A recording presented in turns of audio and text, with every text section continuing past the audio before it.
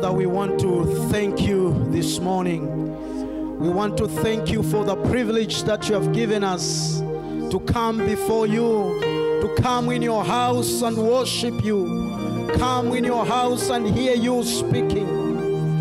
We pray this moment, we pray for these few minutes as we hear your word. The Lord, you will speak to each and every person gathered in this place. We pray that your words will come with the force, that through the preaching and the teaching of your words, you will meet our needs.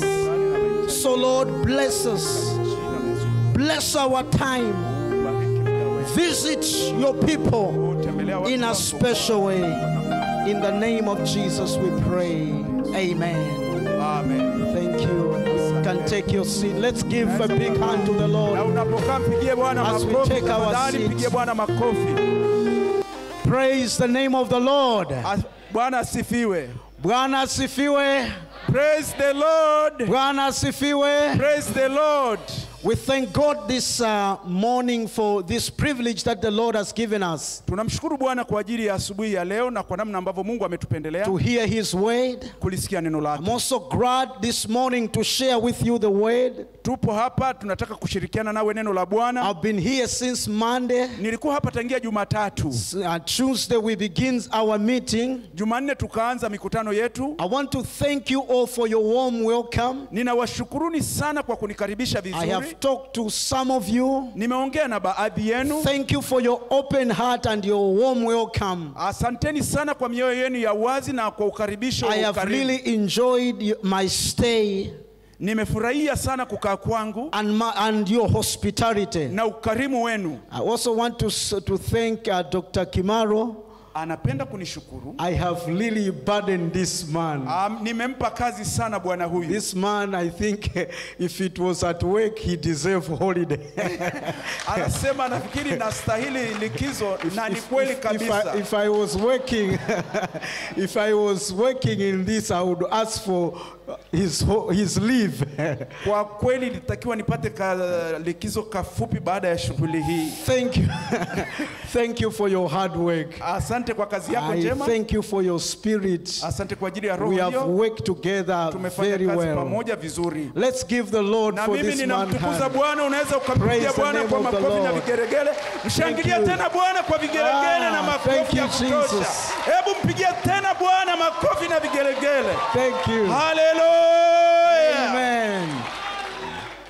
I also want to, uh, to thank Reverend uh, James Rubadanja, Napenda nimshukuru mchungaji He eh, is James Rubadanja. an old friend of mine. Ni rafiki wangu wa zamani sana. We met some years ago. Tulikutana miaka iliyopita. When we met, we didn't know where this friendship will end. Tulipokutana hatukujua urafiki wetu utaishaje. And sometimes when you meet people, it is for his purpose. Wakati mwingine unakutana na watu wengine maishani mwako kwa ajili ya lengo maalum. I think you need to make sure every time you meet people, you need to behave and be good.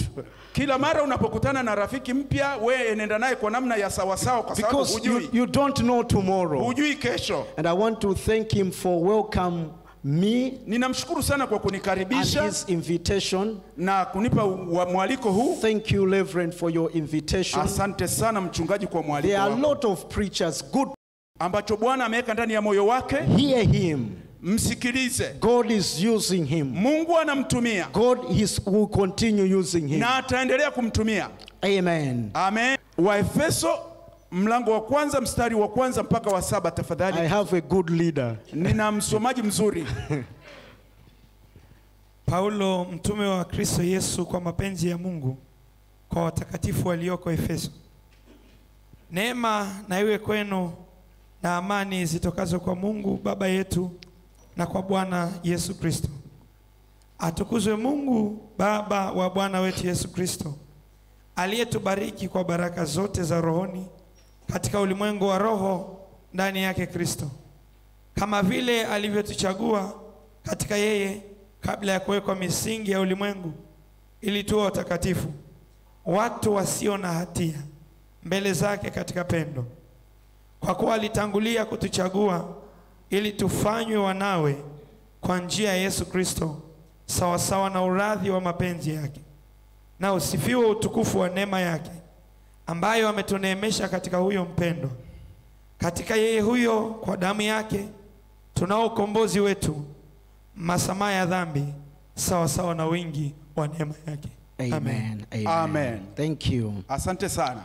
This morning, I want to share with you Asubuhi ya leo ninataka nishirikiane na ninyi about the blessings that we have kuhusu baraka tulizo nazo in Christ Jesus. katika Kristo Yesu. The blessings that we have in Jesus. Baraka tulizo nazo katika Yesu. Sometimes we walk in this life. Wakati mwingine tunapoenda katika Sometimes we worry and do a lot of things, wakati mwingine tunapatwa na hofu na kufanya mambo mengi sana, not realizing what we have in Christ. tukiwa hatujui ni nini tulicho nacho katika Kristo. We have blessing in Christ. Tunazo baraka katika Yesu. And this morning we want to take time Wakati wa, eh, asubuhi hii tutachukua muda to highlight what we have in Christ kuonyesha tu kile tulicho nacho katika Kristo until we know, mpaka tujue, until we realize mpaka tujue what we have in Christ, a, mpaka tutakapojua kile ambacho tunacho katika Kristo, we can walk in them, tunaweza tukaenda we katika can hilo, experience them. na tunaweza tukakutana navyo. Sometimes we don't experience Wakati mwingine hatukutani navyo all what we have in Christ vile ambavyo vyote tunavyo katika Bwana because we don't know. kwa sababu hatuvitambui. So the letter that we have read this morning barua tuliyoisoma asubuhi ya is leo the letter of Ephesians. ni barua ya Waefeso. And Paul is writing to the Christians of Ephesians. Paulo anawaandikia Wakristo wa Efeso, Unlike any other letters that we read, tofauti na barua nyingine ambazo huwa tunazisoma. in those letters, Paul is trying to uh, warn people against maybe false, prob- uh, false teachings Eh, katika nyaraka nyingine hizo, katika maandiko mengine, barua nyingine, Paulo anajaribu kuwaonya Wakristo juu ya mafundisho yasiyo sahihi, Oh, there is something wrong that is happening in that church. na kama kuna, au kama kuna jambo ambalo si sawa linatokea So katika Paul is trying to correct those wrongdoing.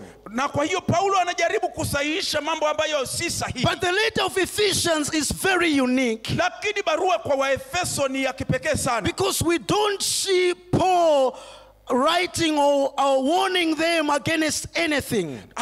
Paulo akionya kama ilivyo kawaida kwenye barua nyingine, But it is just a letter of ni encouragement. barua ya kuwatia moyo. So, because of time, let me just start from verse number three. Wacha nianze na mstari wa tatu. And Paul is encouraging the Christians of Ephesians. Paulo anawatia moyo wa Kristo wa Efeso Blessed be God of our Lord Jesus Christ, kwa kuwa Mungu Baba wa Bwana wetu Yesu Kristo who has blessed us with every spiritual blessing ambaye ametubariki kwa kila zawadi ya kiroho in heavenly places in Christ. katika uwepo wa kimbingu katika Kristo. So here is the blessings that we have in Christ. Kwa hiyo hapa ni baraka ambazo tunazo katika God has blessed us Mungu ametubariki with every spiritual blessings na kila baraka ya rohoni in Christ Jesus. katika Kristo And Paul is writing to the saved believers Na Yesu ana, eh, Paulo anawaandikia waliokombolewa that you are blessed. kwamba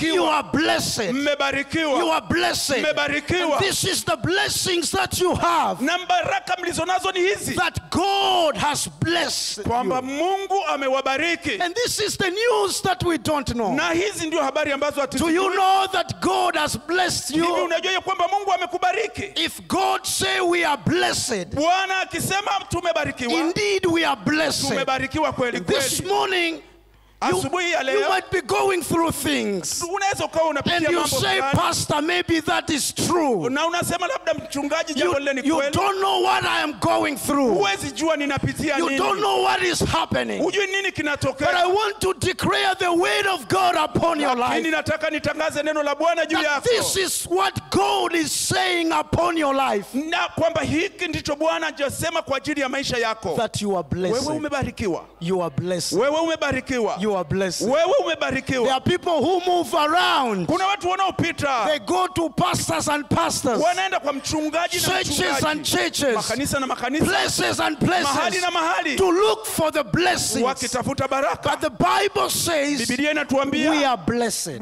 tumebarikiwa We are blessed. tumebarikiwa But these blessings, lakini baraka hizi it is not anywhere. sio kila They are not in joining the church. haipo tu They are not in fulani becoming a member of a church. haiko tu kwa sababu wewe ni mkristo Bible says biblia inasema these blessings baraka hizi are in Christ. yako iko katika kristo Are in Christ. ziko katika So if we want to walk in the blessings of God, kama unataka kutembea katika baraka if we want to experience these blessings, kama unataka kukutana na baraka za we need to be in ni Christ. lazima uingie ndani ya The problem is many people come to church, tatizo ni kwamba watu wengi many people are called Christians, watu wengi huitwa wakristo but they are blessed. They are not blessed lakini hawajabarikiwa because they are not connected to kwa Christ. sababu hawajaunganishwa na So there is a blessings when we are in Christ. kwa hiyo ukiwa ndani ya kristo kuna baraka zake Hallelujah. hallelujah Amen. amen And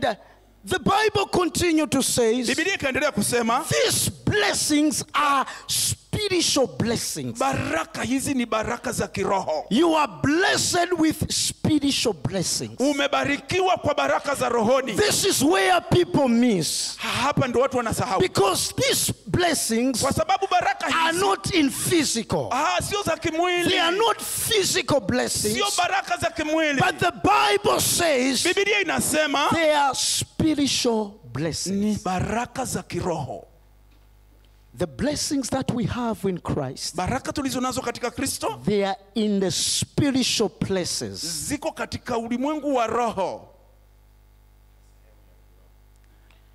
ziko katika sehemu ya kiroho What we need to understand and do tunachotakiwa kufanya na kuelewa is that these blessings baraka hizi they are in the spirit ziko katika roho but they translate physical. na zinaweza zikatafsiriwa katika namna ya mwili So we need to be spiritual enough ni lazima uwe kiroho sana to tap the blessings. Ili uweze kuteka baraka because these blessings are in the spirit. Kwa sababu baraka hizi ni za kiroho. To reach the spiritual place. Ili ufike pale mahali pa kiroho And when we reach and tap and connect in these blessings that are in the spirit, na tunapofikia na kugusa baraka hizi ambazo ziko katika ulimwengu wa roho we are able to take them in the physical. katika ulimwengu wa mwili What am I what I'm trying to say ni nini najaribu kusema hapa that these blessings are not physical. hizi baraka sio za There are people who have money kuna watu wenye hela but their life are miserable. maisha yao ni magumu There are people who are educated. kuna watu wako na elimu Their life is miserable. maisha yao ni matatizo There are people who are, who are driving good car we Kuna would want to drive. kuna watu wanaendesha gari lolote lile ambalo unaweza There ukaliwazia are people who live in nice houses. kuna watu wanaishi kwenye nyumba nzuri But if you ask them, lakini ukiwauliza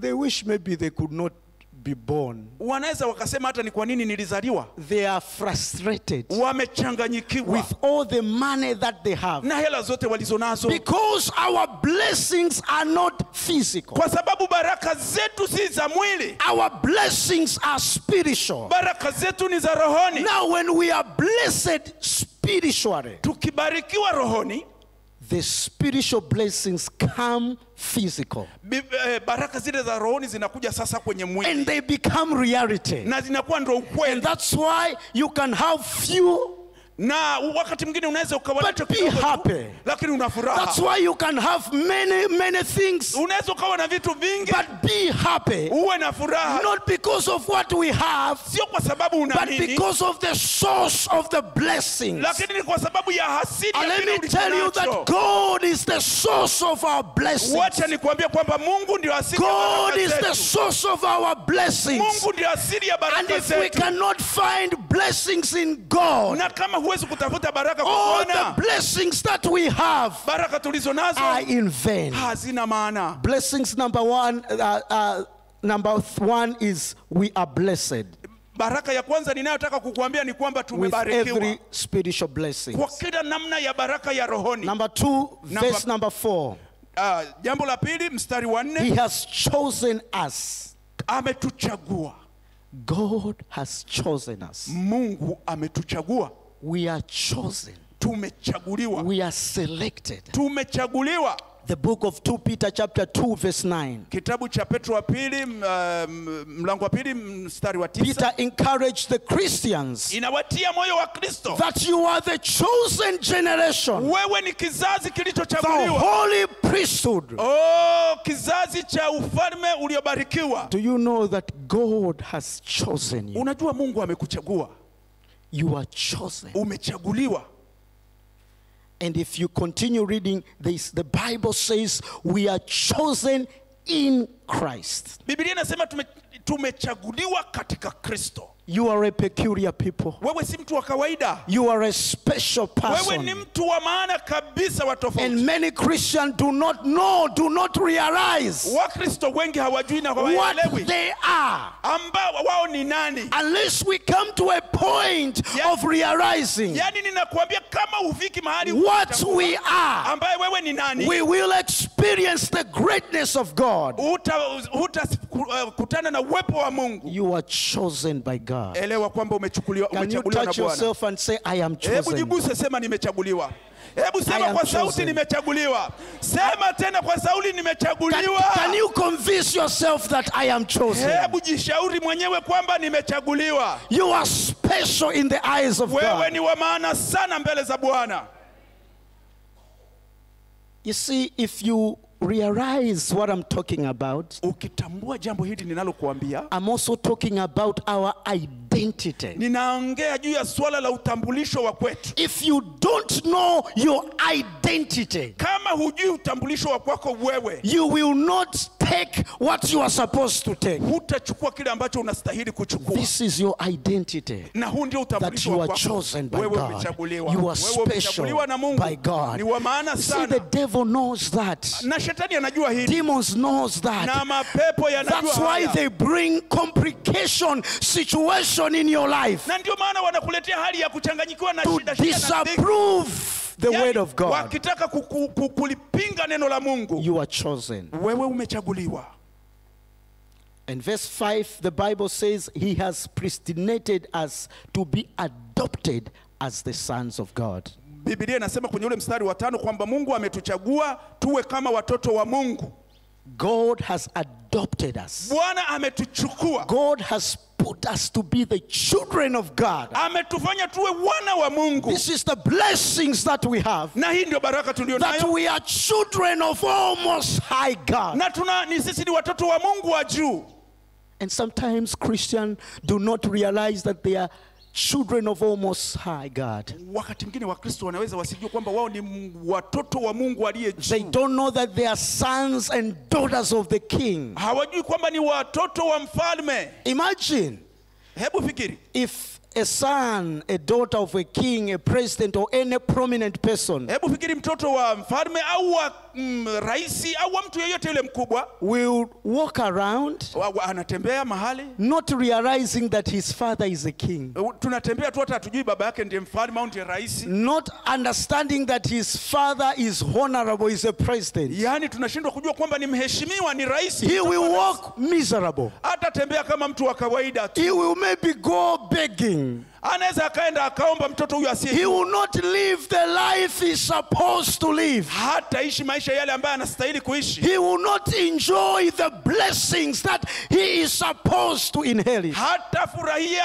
ule zile baraka ambazo anatakiwa kurithi. Many Christians do not know Wakristo wengi hawajui that God is their father. kwamba Mungu wa mbinguni ni baba yao, They do not know hawajui that they are sons and daughters of God.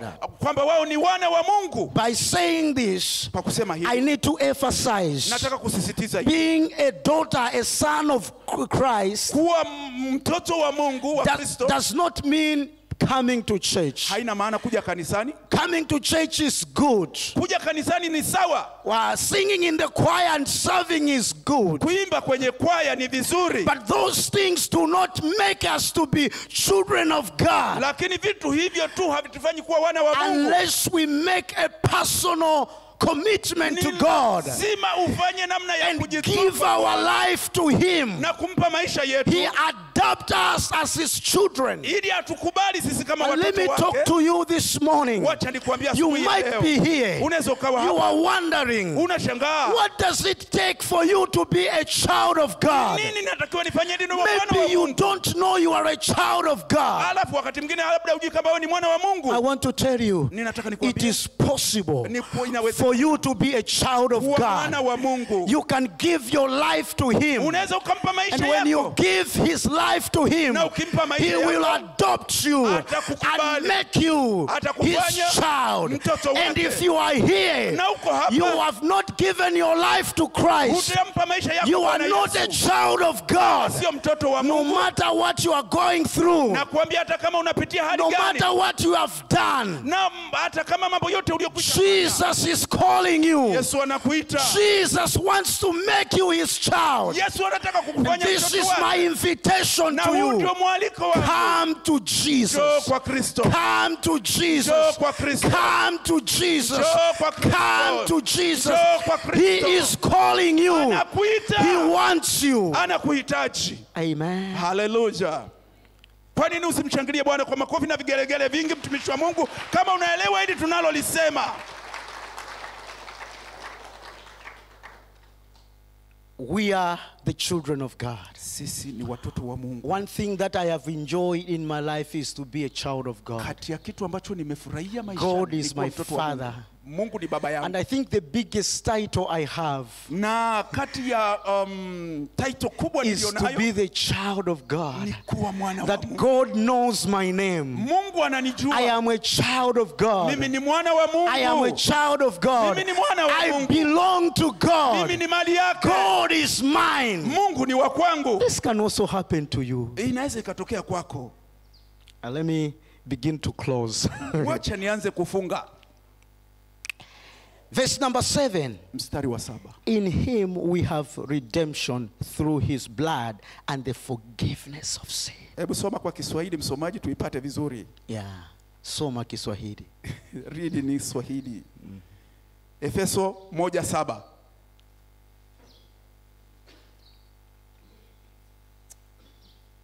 Efeso moja mstari wa saba inasema katika yeye huyo kwa damu yake tunao ukombozi wetu, masamaha ya dhambi sawasawa na wingi wa neema yake.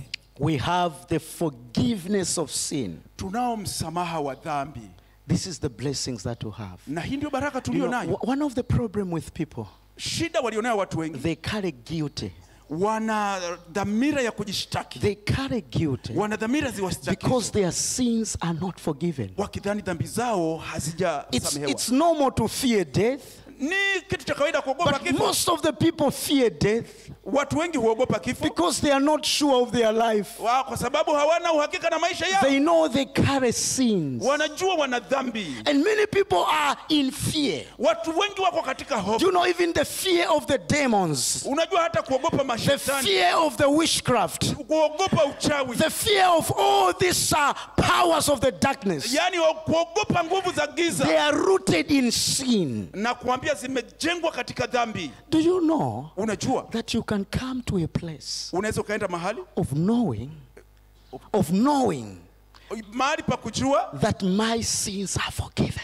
Dhambi zangu zimesamehewa My sins are forgiven. dhambi zangu I want to ask you this nataka nikuulize swali hili Is your sins forgiven? dhambi zako zimesamehewa Is your sins forgiven? dhambi zako Is your sins forgiven? dhambi zako This is the blessings that we na hii ndio baraka This is the privilege that we have na with God. upendeleo tulionao katika mungu That there is forgiveness of sin kwamba upo msamaha wa dhambi in Christ Jesus. katika kristo yesu I don't know, I don't have a lot of time to uh, go on on the forgiveness of sin. But, but let me make this statement. That our forgiveness of sin, Tunapo- even if you read this scripture, our forgiveness of sin is because we are in Christ. kwa sababu tuko ndani ya yesu So we don't just repent. hatutubu tu I have seen people who cry, cry. nimeona watu wakilia na Oh, I am a sinner, I am mimi ni sinner, I am a mdhambi sinner. mimi ni mdhambi They go back.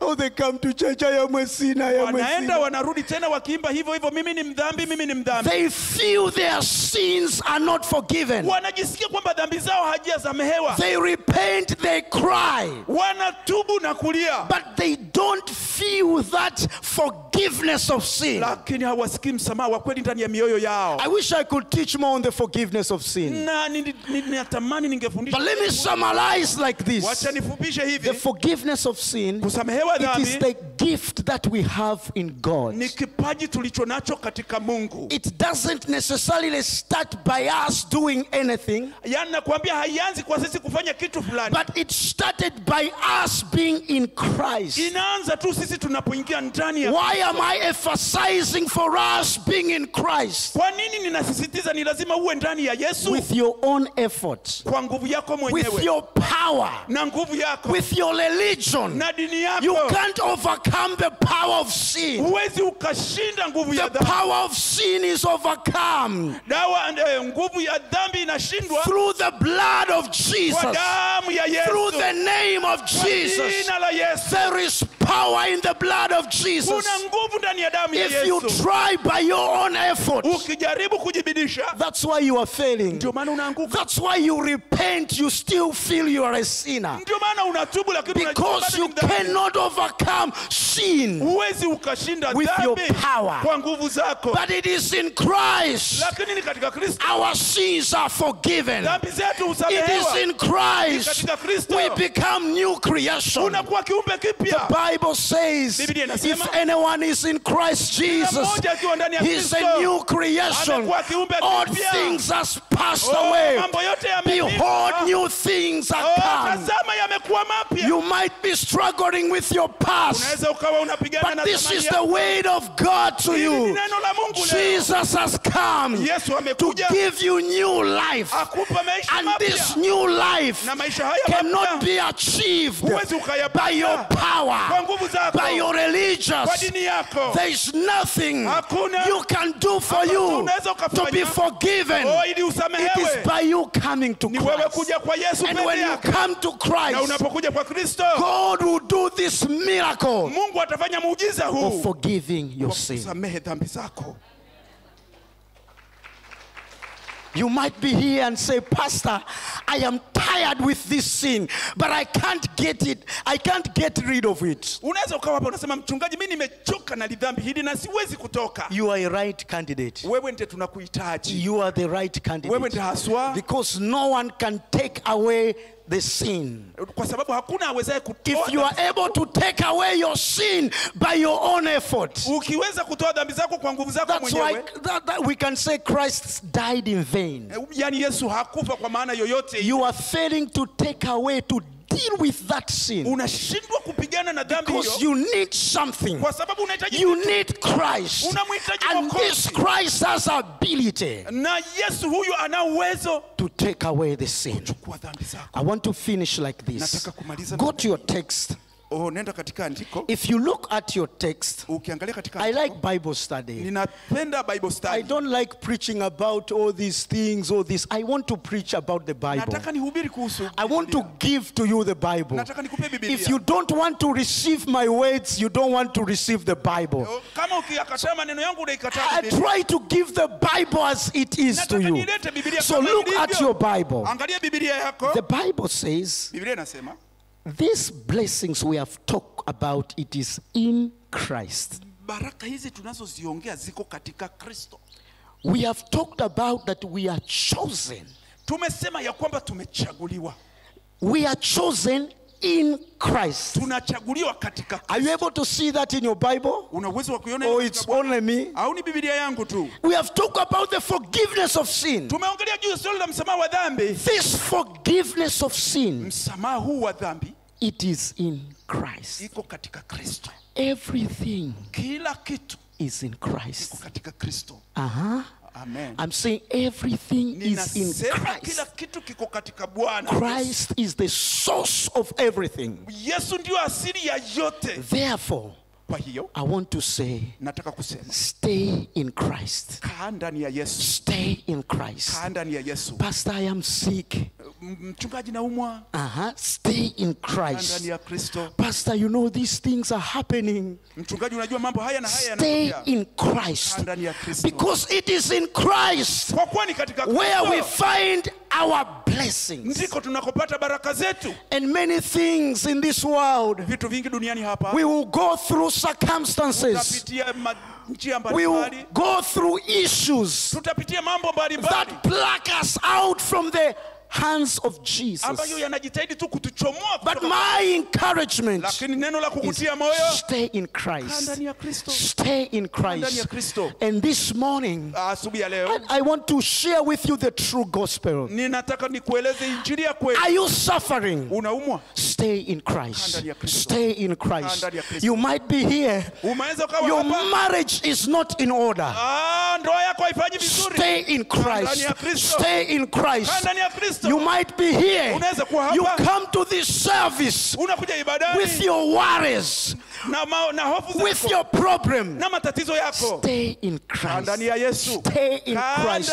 Let nothing pluck you out of Christ. usiruhusu chochote kikutoe kwa kristo In the book of John, chapter 15, kitabu cha yohana the Bible 15, talk about abiding in Christ. biblia inasema kuhusu kukaa That ndani ya if we cannot bear the fruits if we don't abide in Christ. biblia inasema tusipokaa ndani ya kristo hatutaweza kuzaa matunda Abide in Christ. kaa ndani ya kristo Are you a student? wewe ni mwanafunzi Abide in Christ. ndani ya Kristo. People will say until you finish your study. watu wengine wanasema ah, ni mpaka umalize masomo yako That's why you can start praying little. unaweza kuanza I, I, I'm just I'm just a student. ah, wewe ni You, mwanafunzi you, you, I can't be serious with thi- things. siwezi kwenda kwenye Ah, mambo ah, haya stay in Christ. kaa ndani ya There are kristo people who say until I get married. kuna watu wengine wanasema ni mpaka If you are not niolewe, married, you, niolewe. you, you can't pray very Yaani well. kabla hujaoa Ah, bado that's a bado. lie of the devil. hayo ni maneno ya In shetani na every uongo wake. situation, Katika kila hali. stay in Kaa Christ. ndani ya Kristo. Stay in Kaa Christ. ndani ya Kristo. Stay in Kaa Christ. ndani ya Let Kristo. nothing pluck Oh, you usiruhusu in the jambo heart lolote of likusumbue, Christ. likutoe katika mikono ya And bwana sometimes people think, Wakati mwingine I have achieved a lot. oh,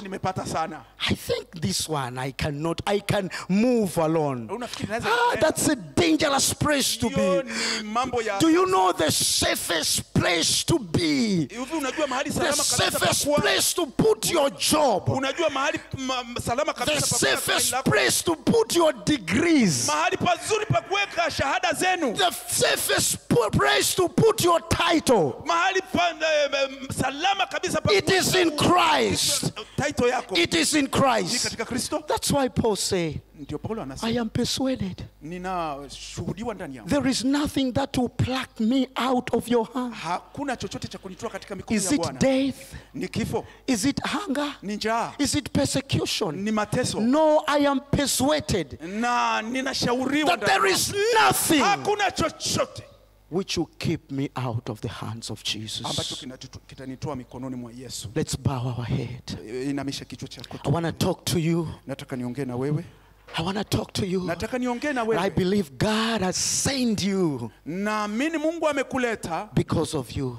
Ame, mungu amenileta kwa You ajili might be here. uweze ukawa You have not given your life to Christ. yesu maisha yako And you know if you will die today, na unajua ukifa leo you are not going to heaven. huendi mbinguni God is calling you. mungu God is saying to you, mungu anakuambia Come, my son. njoo mwanangu Come, my son. njoo mwanangu There is a call of God in this place. wito wa mungu mahali hapa God is calling you mungu in the name of Jesus. Katika I jina la want to Yesu. pray with you wherever you are. oh nataka niseme na wewe hapo In the name of Jesus, katika jina la that you can give your life. unaweza ukampa yesu maisha yako I pray in the name of Jesus ninaomba katika jina la yesu If you have not given your life to Jesus, kama uko mahali hapa na hujampa yesu maisha can you follow me this prayer wherever you hebu are? sema maombi haya It is your life. ni maisha yako It is your life. ni maisha yako You die alone. Utakufa mwenyewe We don't know next year or tomorrow. hatujui kesho wala mwaka ujao How many of us will be still alive? hatujui ni nani kati yetu This might be your last opportunity. inaweza ikawa hii ndio fursa yako ya mwisho Can you use this opportunity? waweza kuitumia fursa hii I have a girlfriend. Oh, wakati mwingine unaweza kusema nina, What na about rafiki what about that boyfriend? oh, yule rafiki yangu wa kiume Leave alone that. achana na Your hayo boyfriend, your girlfriend will die alone. na kuambia mm, rafiki wako wa kike au And kiume Jesus is calling you oh, alone. yesu anakuita Father, in the name of baba Jesus, katika jina la I pray for these souls. ninaomba kwa, kwa ajili ya mioyo hii I pray for these people that have not given their life to ninaomba kwa ajili ya watu wa Jesus. Holy Spirit, in the name Oh, of roho Jesus, mtakatifu katika jina la touch their life. waguse Just follow me this prayer of confession. Lord Jesus, bwana yesu I repent my sin. ninatubu dhambi zangu Forgive my sin. nisamehe dhambi zangu I cannot do without you. siwezi kufanya bila wewe I come to you by faith. ninakuja kwako kwa imani Receive me nipokee as your child. kama mtoto wako Forgive my sin. nisamehe dhambi zangu Today, leo I give my life total to you. ninakupa maisha yangu yote That I will walk this new life ili nitembee katika maisha mapya by faith kwa imani in the name of Jesus. katika jina la yesu And I also want to pray for you. Na vile vile nataka nikuombe Maybe you have received Jesus Christ, huenda umempokea yesu but you are not walking, you are not in Christ. lakini huko katika kristo Things of the world has taken away your attention.